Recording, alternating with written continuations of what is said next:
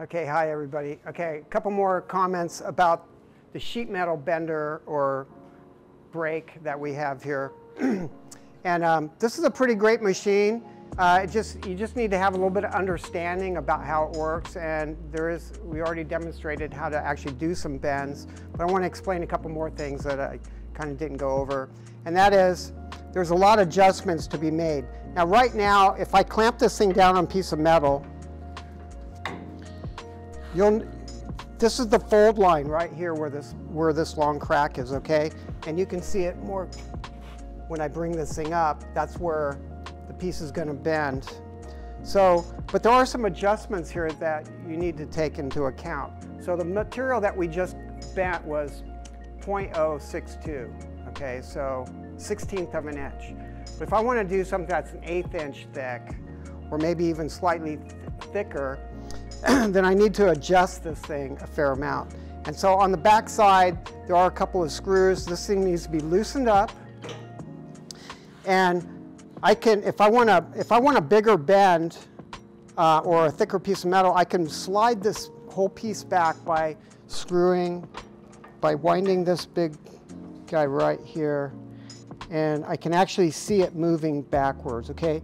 And you really don't need to move it a whole lot okay, just a very small amount.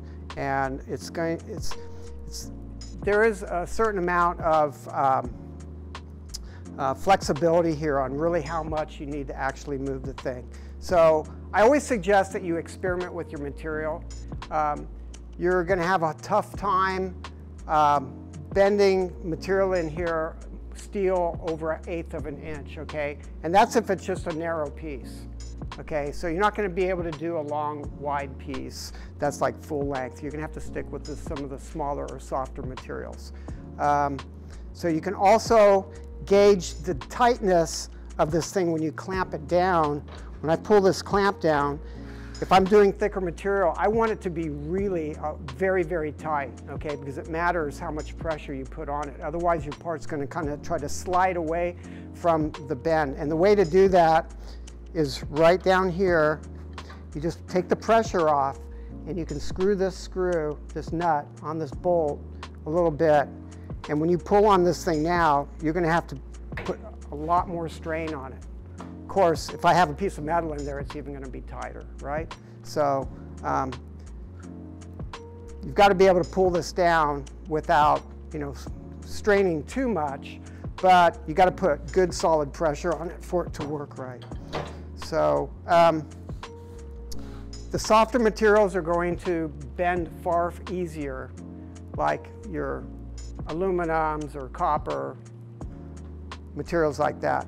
However, with your aluminums, also remember that if you're bending 60, 61, chances are you're going to crack the corner where you're bending it at. Okay, so work with the, uh, the malleable aluminums like the 2000 series, the 3000 series, uh, the 5052 or 5053, yeah, 5052 um, will bend a lot easier than the 16th. So uh, you may end up finding yourself having to go back rewelding aluminum if you have to do that. So you don't want to do that. Anyway, um, we have lots of these different uh, fingers and you can take these off, modify them if you want to get something into a particular shape. You don't, you don't want to have a long piece of bend and try to bend it with just one little finger, okay? You need to have it so it's really close. You might have noticed on that, on bending that one sheet, uh, that one box, you know, it's about this wide in one area, but the finger is only this wide. It still worked, okay? It was close. It did, it did okay. So, um, but you, you, want, you want this finger pressure to be as, covering as much of your material as possible, okay? So I don't have every possible dimension of this thing possible, but if there was a real unique situation, we can modify or we can get some material to make one that fits. Um, other than that, um, you know, there's not too much stuff here to really worry about. Uh, you just pull that up. If you have a bad back, you might not want to be working with this thing. okay? So that's just kind of how it is.